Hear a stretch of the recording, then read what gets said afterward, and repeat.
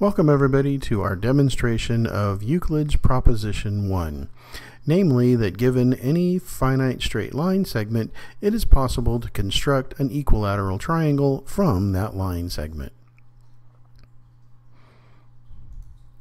So because we are assuming that we just have a straight line segment, let's just pick a couple of points, A and B, and suppose that we've got the line segment between those two points.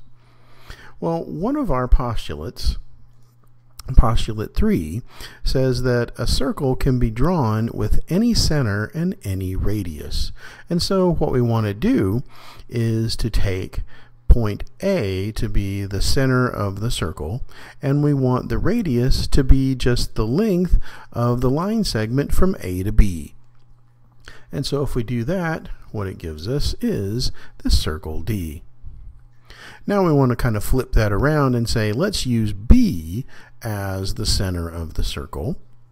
And we still want to have that same radius, namely the line length of the line segment from A to B. And so what that gives us is a new circle, little e. Now, those two circles are going to intersect at a particular point, and let's say that point of intersection is going to be C. Well, another one of our postulates, postulate 1, says that between any two points there can be drawn a straight line segment.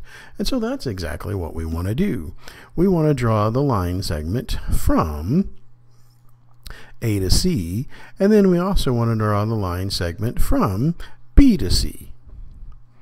Now, if we go back to the definition of a circle, what we know is that the circle is a set of points that are equidistant from a fixed point called the center. Now, because A is the center of circle D, and points B and C are on circle D, it means that the length of the line segments AC and AB are going to be equal. Likewise, because E has point B as the center, and C and A are points on the circle, E, then it means that our line segment AB is going to be equal to our line segment BC. Now, coming back to one of our common notions, common notion number one says that things which are equal to the same thing are also equal to one another. So what that means is because we have line segment AC congruent or equal to line segment AB, and line segment BC is equal to line segment AB, then it means that line segment AC is equal to line segment BC.